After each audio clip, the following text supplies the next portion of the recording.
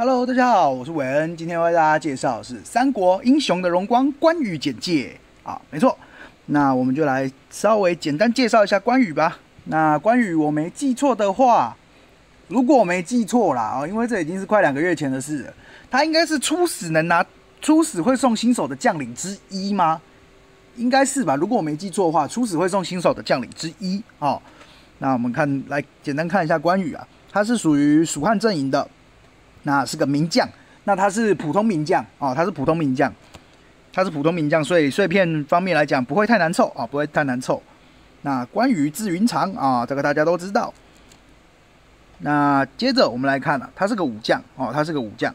那四维的部分，老实说，因为我这宝物有影响啦哦。四维的部分我们看一下，武力加了六点，统帅加了二十五点，智力加了九点啊，所以我们稍微扣回来一下。武力加了六点嘛，所以它本身本身武力啊白值啊一零五啊啊本身白值一零五啊，那统帅加了二十五点扣回去，这样只有七十几对吧？二十五扣回去七十八啊七十八，呃算是快要没救的统帅了，快要没救统帅，但是因为我正好装备把它拉起来了，正好装备把它拉起来啊，这二十五桶的装备啊。那九点智力，九点智力啊，所以关羽原本的智力只有八十点啊，只有八十点。那魅力本身九十六点，没有做影响哦，所以可以看到是关羽除了统帅稍微啊，真的是稍微偏低以外，七十八稍微偏低以外，其他的部分都算是蛮良好的哦，都算是蛮良好的。其他的三位都算是蛮良好的，尤其是武力。那我们接着来看他的天赋，天赋部分威震华夏，当我方发动英雄技能对敌方部队造成伤害时。有三十趴的几率将敌方英雄直接斩杀。那附加效果，若我方武力高于敌方英雄，则发动军神造成伤害时，威震华夏的斩杀几率提升七趴。好，那我们来简单讲一下这个天赋哦。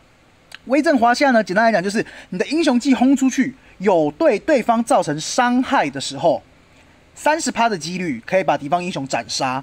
那把敌方英雄斩杀了有什么好处呢？呃，我记得疑问这边有问。哦，就是这边这边有几个疑问很有趣的，我看一下。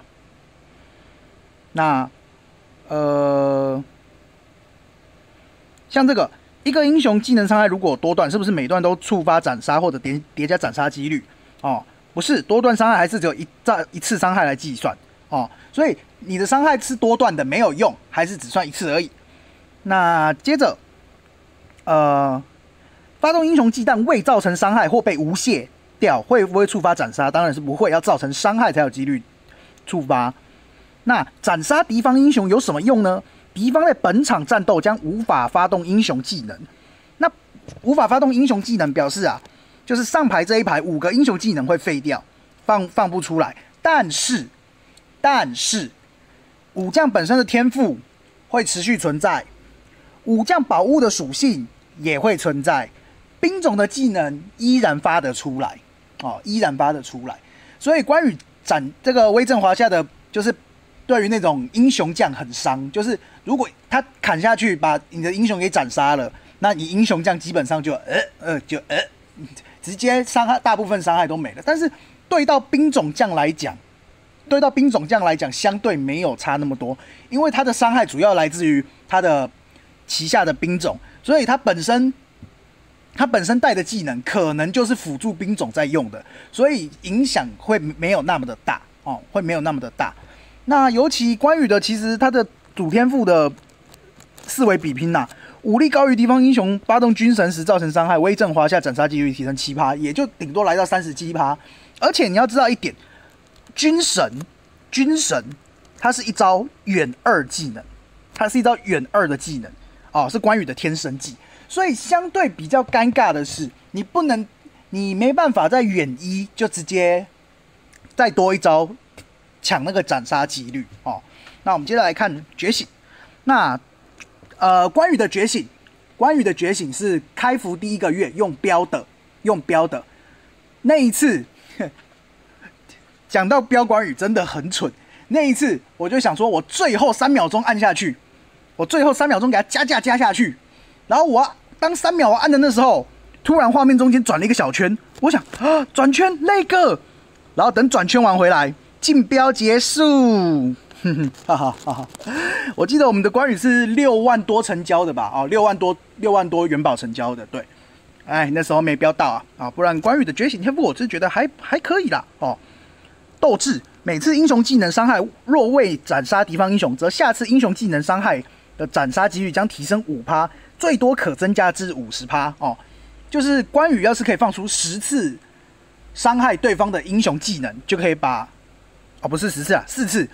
你只要四个技能放出四个技能都没把敌人斩杀，你那第五个技能就会有高达五十趴的斩杀几率。那如果你四个技能是远一，那你在你的最后一招军神，你的四招都没有斩杀，那你的最后一招军神斩出来的时候，你武力有高于对方的状况下，你是有五十七趴的几率去斩掉对方英雄的哦，算是相当高的几率了。那如果这样都还斩不掉？啊哈哈哈哈哈哈！那这位仁，这位仁兄只能认了啊，只能认了啊，真的只能认了。那枭首，当敌方兵力少于三十趴时，则我方造成伤害时有三十五趴几率直接消灭对方部队。哦，这边就是对兵种直接做伤害了，这边不是对，就是不是斩将的部分了，是直接消灭兵种了。哦，对，所以觉醒的关羽啊。呃，应该这样讲啦。关羽整体上来讲啊，关羽整体上来讲，就是围绕着这个斩杀、这个砍头机制在玩的，就是围绕着这个砍头机制在玩的。基本上，你的关羽只要能先手，并且成功斩杀掉对方将领，赢的几率蛮大的。只要战力不要超，只要你的对手不要超越你太多太多，基本上越战是没问题的。如果你有成功斩首的话，越战是没问题的，因为。英雄英雄将大部分大部分的人还是很靠英雄技那个英雄技能吃饭的，所以你只要能成功先手把对方斩掉的话，那你赢的几率很高，那越战的几率也不低哦。但是这是建立在关羽有成功斩杀人头的状况是前提下啦，如果没有成功砍头嘛，嗯啊哈哈哈哈哈哈哈，对啊，没有成功砍头就哈哈哈哈哈，等于他的天赋整等于他整个没有天赋啊，那。既然他的天赋这么惨了，那我们来看一下他的缘分吧。他缘分跟吕蒙的五胜折戟，呃，被吕蒙给宰了啊！当我方部队被消灭时，对敌方全军造成我方部队一定最大兵力的伤害。那该伤害不会受到百分比兵力减免效果的影响哦。反正就是这个伤害有打这个游戏呢有打趴伤的，那有减免趴伤的。那关羽的这个宿命的趴伤呢是不可以被减免趴伤减免的哦。我。我无效，我无效你的无效啊！我无效你的无效啊！大概是这样。那吕蒙呢？目前第一次测试还没开放，但是其实你可以借由点他的碎片，你可以看到吕蒙的技能哦，可以看到吕蒙的技能。对，你可以看到他的技能，然后你可以看到他觉醒天赋，其实两条是不一样的，所以应该是有做好了，还没试出啊，还没试出。那所以一一测的关羽直接少了一个缘分。那我们来看一下跟张飞的万夫莫敌，当。当敌国在城池中的部队大于我本国部队数时，我方发动英雄技能对敌方造成的伤害提升啊，最高可以来到十五趴。那简单来讲就是，呃，敌人大军将近啦，没关系，我万夫莫敌啊！万夫莫敌前一句是什么？一夫当关呐啊！一夫当关，万夫莫敌呀啊！直接加十五趴伤害呀哦。那个人觉得这影响还蛮大的啦啊，影响还蛮大的啦啊，有时候对方。幻影放一放，哎，你的部队数量就比我多了，白嫖十五趴伤害，舒服舒服啊！鲁肃单刀赴会，我方受到吴国英雄部队造成的伤害降低最高十五趴。好，吴国英雄还是部队，所以吴国英雄本人的英雄技打出来的伤害啊是不会这降低的。那满级就有十五趴。那个人觉得这个天赋这个宿命颇没用，颇没用。那为什么呢？而为什么破没用呢？基本上你等等你把呃一测四十只英雄将领看完之后，你就会发现现在的吴国将领相对弱势，哼，相对弱势，也不是相对弱势，非常弱势，非常弱势啊！相较于群雄啊、曹魏啊跟蜀汉来讲，孙吴的英雄相对真的很弱势啊，真的很弱势，弱到不知道该怎么讲了，弱到不知道该怎么讲了。那单刀赴会就是。鲁肃，鲁肃邀请关羽去吴国开个会，我们关羽拿着刀要拉着鲁肃一起走啊！鲁贝贝表示卖安内啦，有必要这样动刀动枪的吗？对不对？那我们来看他跟黄忠的丈夫老卒啊，我方傲气值会提升我方部队攻击。那当你成功击杀敌方部队的时候，你会获得一点傲气值。那有些人的天赋可以避免获得，那关羽本身是没有的，本身是没有的。所以当他获得傲气值的时候，可以提升我方部队就是兵种的攻击。那由于黄忠的碎片呢，黄忠的碎片，呃，黄忠是在一测第二个月哦，第二个月很后面才开放的，而且它的碎片比较快速的来源是要花元宝去买哦。而且是很贵，还不会折价的那一种，所以我的黄忠没有多余的碎片给他了啊，没有多余的碎片给他了。那基本上，老实说，我的关羽也不是主练啊，我的关羽也不是主练，所以对我来说，我的关羽只要在有傲气的情况下跟敌人、跟玩家对打到的话，输的几率很大。那就算有了这个宿命，输的几率还是很大哦，因为其实老实讲，我的关羽打同战力的。啊，要看状况，稍微越战一点的有没有斩到头才是重点。那越战太多的那个就打不过了，那个那个就打不过，那就不管。所以变成说这个天赋，老实说有有点那么激热了哦，有点比较那对我来讲有点激热啦，因为毕竟他不是我的主练呐，哦，毕竟他不是我的主练，所以没办法说我我可以扛着傲气增加部队攻击，然后还是硬是把跟我战力差不多，或者是把高过我一些战力的人给宰了哦。对我来说啦，我的关羽就是有斩到头，这一局就有机会赢啊！呃，应该说这一局赢的几率就开大了啊！没斩到头，没斩到头就只能哭啊，不然能怎么办？那最后华佗刮骨疗毒，那当我方发动回春时，有几率移除我方部队所有的负面效果哦。那回春是在每回合的结束发动的哦，所以其实。这招对关羽来讲啦，算是不错的哦，避免吃到一些负面状态。关羽放不出英雄技呀，或者是部队丢不出技能来哦，这对关羽来讲非常不错。但是有一个重点，有个重点，我们来看一下回春这个技能啊，回春这个辅助技能，它需要魅力达到九十八。那我们的关羽初始的魅力是多少呢？我们关羽初始魅力是九十六啊，不含装备，不含装备。不含装备有九十六，什么意思呢？你的关羽要用回春，你至少要再撑两点魅力给他，你至少要再撑两点魅力给他，才能使用回春，哦，才能使用回春。那这个跟菊美，你闪旁边去啊，菊美。那跟华佗的这个刮骨疗伤才有才有用啊，才有用。对，所以变成说，呃，比较尴尬了哦。我一开始给他的装备里头是带有魅力的，那后来我把装备重新整顿之后就没有了啊，就没有了，所以比较尴尬啦。我的关羽现在是没有回春的了啊。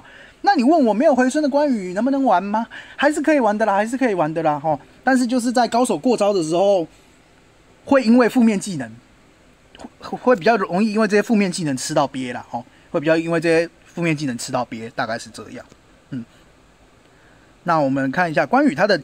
他的兵种啊是骑兵跟工兵，所以也是算一支比较平稳哦，算是以兵种来看啊，算是一个比较平稳的将领啊。但是其实他的天赋就已经完完整整告诉你了，我就是拼技能砍头，砍到头我就开大哦，砍到头我就开大，没砍到就就开小啊。对，所以在英雄技能这方面啊，我个人有两种思路推荐给各位。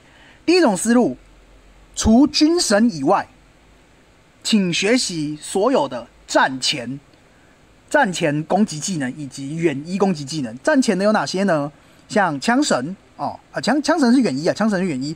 诶，那个那个夺志也是远一。那那个战前战战前释放是哪招？急袭啊，急袭。像急袭是战前的，对。然后这些。这个天问是他没办法学了啊，这个象征是远二，离殇也是远一，反正两种想法啦，一种就是你把你的关羽除了军神以外的技能全部塞远一跟战前，那就像是枪神、枪神，然后夺志，然后剑雨，然后急袭啊这几招，把它选起来，把它学起来，然后让你的军神可以有着。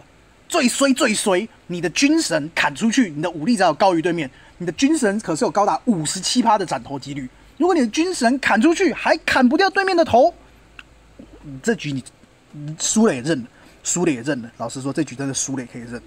那离伤这一招，老实说就是呃比较没有那么适合关羽了，因为你看嘛，他是魅力高于敌方英雄的时候，离伤伤害翻倍。那这招我在貂蝉那边讲过，它算是比较减伤，就是降敌人伤害的降敌人伤害的那个技能，比较不是伤害技，所以对关羽来讲比较没有那么适合。那其实老实说啦，剑雨的伤害啊，剑雨的伤害。浮动值超级大哦，浮动值超级大之外，它的低是非常低的那一种，高却没有到很高，所以剑雨老实说，我个人也是不太爱学了哦。但是如果你要把关羽天赋发挥到极致，那就是剑雨急袭啊，夺智夺智枪神啊，夺智枪神，然后再搭配他天生的军神，这样正好五招。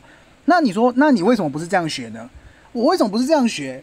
哦，我先跟各位简单讲一下我学的技能的思路啊，哦。军神这个天天生技啊，天生技没什么好说的。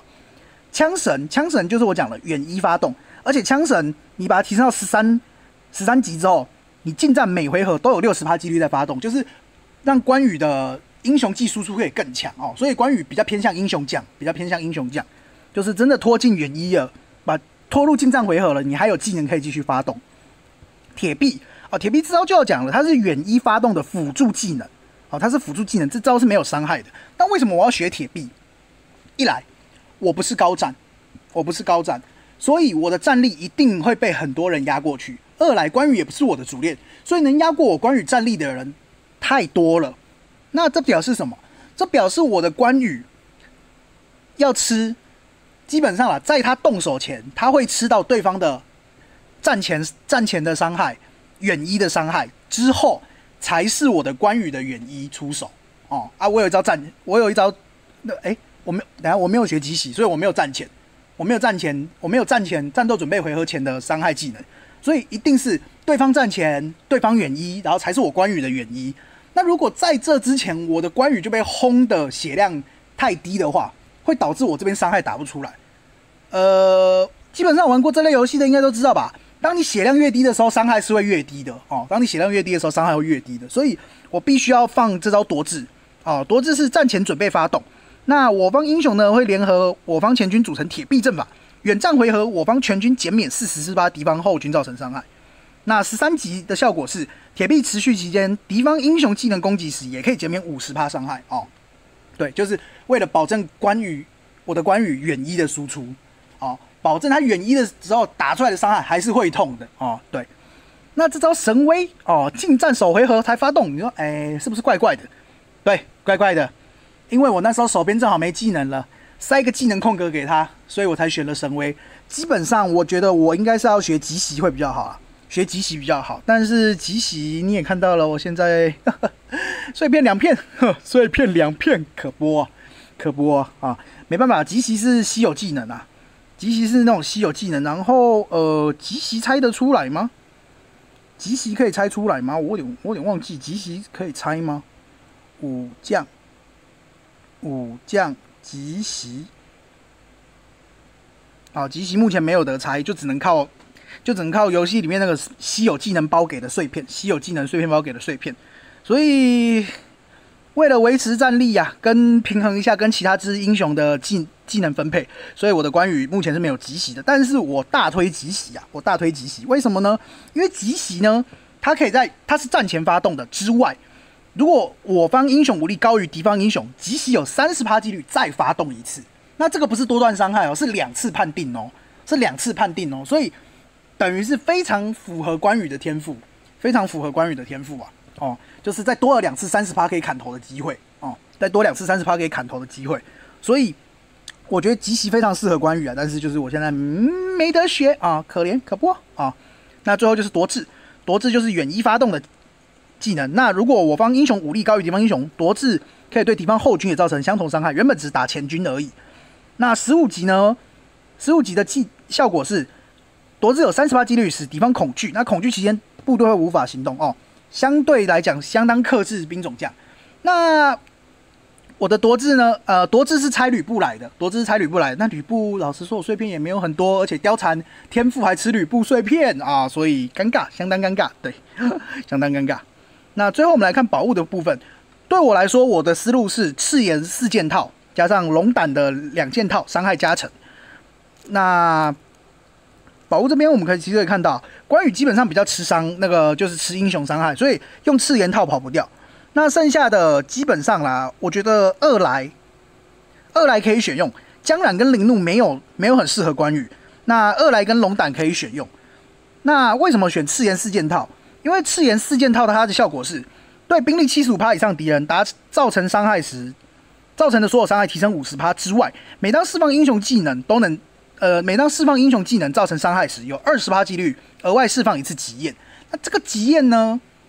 我不确定他有没有加入斩头的那个，他的天赋会不会触发？但是对关羽来讲，呃，对我来讲，关羽是个英雄将，所以让他多能放几招英雄技能是好的。那我们来看一下极焰这招技能啊，呃，极焰它是远二发动，但是赤焰套就不用没有这个规定。那如果我方魅力高于敌方英雄呢，赤焰对前军可以造敌方前军造成伤害，所以它是烧后军的，那就是对前后军都可以。如果魅力高于的话，前后军都可以烧。那关羽本身其实就像我讲的，他需要装回春啊，所以他会去撑一点魅力。那要触发要触发这个这个叫什么极焰，算是蛮简单的哦，大概是这样。那关羽副将的思路，关羽副将的思路主要是他嗯，他本身他本身啊，天赋跟觉醒没有给伤害哦，没有给伤害，所以你可以找一些天赋有伤害的人给他。哦，或者是你可以增加他的生存面相，增加他的生存面相。对，那因为老实说，关羽不是我的主练，然后这个斩头技能，我真的觉得就是吃几率吃到一个 不晓得该怎么说啊，啊，吃几率吃到爆啊！所以对我来说，关羽关羽的副将我比较没有想法了。哦，我现在给他给他的是徐晃啊，就是我发放到英雄技能对敌方造成伤害时。最高有五十帕的几率让敌方兵力回复效果降低五十帕哦，持续两回合，那就是我都我都那么努力打你了，你可以不要再回血了吗？可以不要再回血了吗？啊，大概是这样的概念。好，目前配的是徐晃。那我想一下，我之后可能，哎呀，闹钟呢？闹钟呢？那我看我们私服器有人的关羽是配像夏侯惇，这个是蹲还是渊？对，蹲，一只眼的是蹲。哦，就是骑兵部队受到伤害反弹，反弹伤害，或者是我有看，有人是配合夏侯渊呐，但是配夏侯渊，我就说了，夏侯渊的天赋就只能跑步跑，跑步跑好快而已。我个人是不太懂配夏侯渊的意义何在，哦，不太懂配夏侯渊意义何在，或者是配张飞哦，配张飞提升暴击率，对，提升暴击率，那搭配那个装备的二来套哦，你可以提升爆伤的，就可以让关羽的伤害最那个极大化。哦，或者是我有看有人配马超的，哦，配马超就是让骑兵部队的伤害提高，哦，就是提升兵种伤害，对，大致上是这样，比较常看到搭配是这样啦，哦，应该是说我有看到搭配大部分是这样啦。那有没有其他的玩法？就也是老实说，看各位自己克制化了。像我觉得，其实啊，甘宁不行，甘宁兵种不对，甘宁兵种不对。呃，我那时我在想的是，他可不可以配那个谁配？呃，其实庞统技能没有很好，庞统技能没有很好。黄忠是工兵，哦不对，黄忠是暴击伤害的，黄忠是暴击伤害，所以其实用黄忠也是可以的哦，用黄忠的其实也是可以，但是老实说，比较多人是把黄忠当主将来用了哦，因为他本身的天赋算是。比较强势吗？啊，好了，跟关羽比起来是比较稳定的强势啊，比较稳定的强势啊，哦，跟关羽比起来，所以大部分有黄忠人还是拿黄有练黄忠人还是当拿黄忠当主将啊。那或者是孙策啊，孙策兵种不对，可怜呐，可怜呐。吕布啊，吕布其实也可以啊，吕布是骑兵呐，对，吕布是骑兵，所以可以当他前军将啊。如果有练吕布，其实他的天赋其实也是蛮不错的，哦。想当初我们退坑的那个最强的玩家，当初吕布是全服第一呢，哈，可惜他退坑了，哎，可惜可惜。好了好了，以上就是今天影片内容，喜欢的话就帮我按赞、订阅、分享。那如果有什么意见或者想要告诉我，都可以在下面留言。那我是韦恩，我们下期影片再会喽，拜拜。